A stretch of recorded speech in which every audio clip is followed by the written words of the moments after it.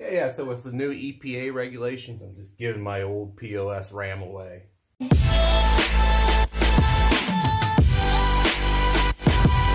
Guys, let's get out in the light here a little bit better. Uh, yeah, so there's a reason why it's parked in the junk pile because if I don't get this thing fixed before the dumpster gets here, I'm just picking this thing up, setting it right in the dumpster, and she's gone with it. My dad's like, well, you parked right in a dumpster pile. I'm like, no, it's it's there for a reason. but uh, I mean, honestly, maybe somebody can help me here with this. I have a pretty good idea what's going on, but I'll show you here in a minute. Uh, but literally, if anybody has a supercharger or know anyone that has a supercharger kit for the GTO, like an LS1, I'm talking like belts and plumbing, you know, pretty much everything I need. A fuel pump or something or at least help me out. I'd definitely trade that thing for that. Because this thing is pissing me off so bad. But uh, I'll get over there and I'll show you what I'm talking about. Maybe somebody can figure this out. And then we'll talk about the, the EPA stuff. It's kind of funny. Not really. It's kind of how everything's going.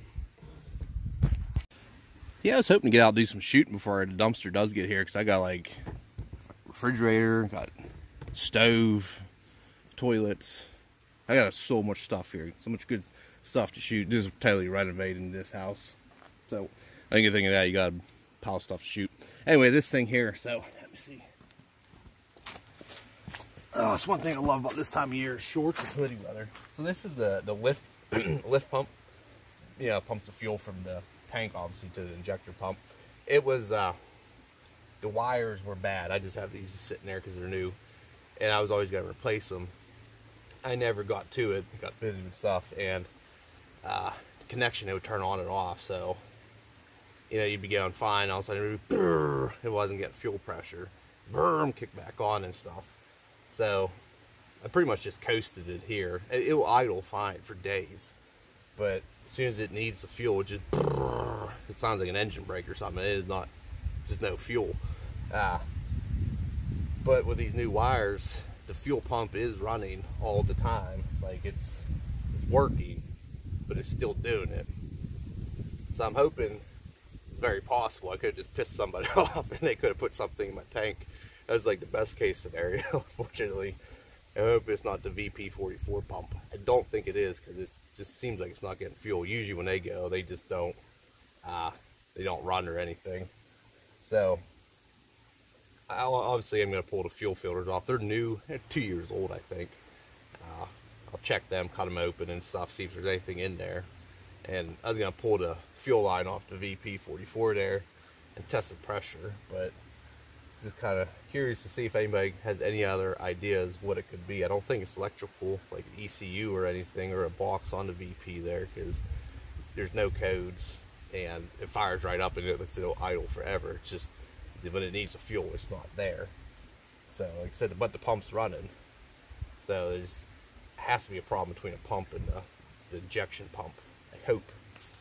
But I'll uh, I'll turn a key on here and I'll show you what I mean if it'll start. If not, first come first serve. It's free. Uh, I checked my intake too, like my air filter, make sure nothing was clogged there. It's all good. I'm gonna take it for a little drive around and see if I can get it to do and see if the voltage drops at all. Make sure it's not that. Okay, now it's still doing it here, so give it some gas. Yeah, here breaking up. So it's definitely uh, not the voltage, that's for sure. Yeah, so it'll sit here and idle for days, fine, you know, and let's see. There it goes, you can hear it. That's fine. There it is. Like I said, the voltage doesn't change, so it's definitely not that. Said it could be injector pump or injector, but usually they're really more consistent than that. This thing's so consistent. Like you'll be getting on the highway or road, tell you find a pick back up. You know, it really seems like it's it could like a fuel filter, which it shouldn't be. They're only two years old, but that fingers crossed. I just pissed somebody off and they put something in the tank. Maybe they put gold dust in there, huh? Anyway, let's just talk about the EPA shit. But before we do, let's go see what Blue has to say. Blue's on timeout because he's a bad boy. Blue, you bad? Hey, sit. Hey, no, are you bad boy? Did you do something bad today? Hmm? He knows he did, didn't you? Who's the bad boy? Go visit. Best thing about having a little crick in the yard, just a natural refrigerator. Just need some need some energy. Oh. Let's do fishing. Oh, I got myself a monster. There we go. All right, let's see if old uh, GTO will start here. Just got her out of storage the other day. Oh, oh, oh. Oh, yeah. She needs some little bit of runtime. So let's do that. We'll talk about the good old EPA. Uh, where the hell put you guys? I got a goofy ass tripod here. There we go. That's a little better. Sorry to, the lens a little dirty on this side. Still can't fix my face. Hmm, it's a problem. Anyway, yeah, the EPA stuff, probably a lot of people, I don't know, heard about it. And it's kind of what like the trend of the whole whole America. I don't even call it America. It's like seems like it's like a global list, you know. Hate to say left or right. It's definitely Joe Obama and uh, Camel Toe, Harry Ass doing like definitely leading the charge. But anyway, with EPA stuff, basically if your vehicle like this, any vehicle has a VIN, you are not allowed to modify the engine in any kind of capacity, like anything at all whatsoever. Like, you can't touch it. And you know, a lot of people say, "Well, that's fine. I don't mess with cars and stuff." And like, I'm a gun guy, and I talk to a lot of people, and they're like, "Well, I don't really shoot guns. I don't really care." You know, a lot of like businessmen and stuff. I'm always like, "Well, what do you like to do?" A lot of them play golf. I'm like, okay, what if they go for golf and say all the hundreds of thousands of acres of land we need it for windmills? You can't golf no more. And I always said that with like car people stuff too. They're like, oh, well, I like cars. I don't do guns. I'm like, well, dude, I guarantee you cars are on the chopping blocks. Like, oh, no, no, no. I'm like, dude, I'm telling you. So they're going to say it's going to be environmental, you know. And like, I like Cletus McFarland, Whistling Diesel, and all that stuff. Like, them guys, like, I admire them because they do, they get, they make a lot of money for doing stuff that they love to do. And that's so cool. But if this EPA stuff goes through, with guns, like, obviously if they get rid of guns, I ain't getting rid of my fucking guns.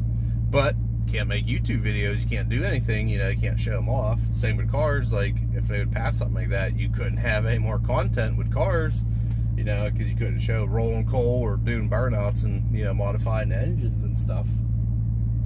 There's a lot to uncover there. I'm not sure it's not finalized or anything, but uh, I know, seeing a lot of different channels, people talking about. I'm sure you can look up, find more clear information. But one guy said he got audited, like they actually come and checked his stuff to make sure everything was factory. So like no, no exhaust, superchargers. You know, you can't this thing's like tuned, can't do that.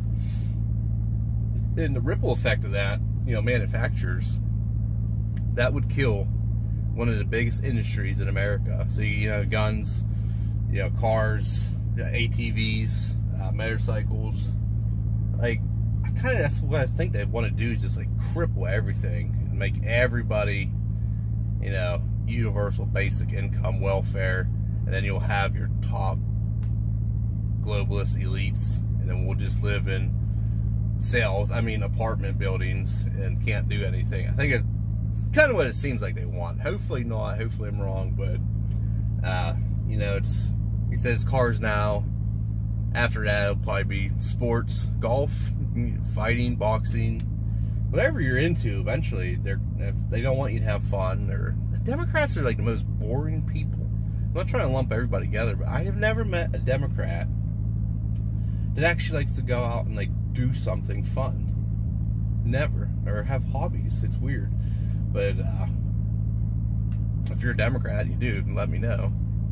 I have nothing against this. Like I said, I don't think it's Democrat, Republican, or anything. It's just certain people in the world. Nancy Pelosi, you know, them them fucktards. Uh, people at YouTube, them fucktards. Instagram, them fucktards. Facebook, that fucktard all them idiots. They're fucktards.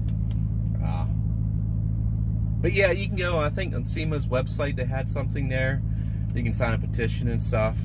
Will do any good? Probably fucking not. They don't care. They'll do it anyway. But just throwing that out there. I'm gonna get back to dealing with some garbage, the Ram, and then I got a bunch of bunch of trash to pick up, like the Ram. But yeah, seriously, if anybody knows any more information on that, SEMA or the EPA stuff, or uh, anything going on at stupid fucking Ram, let me know.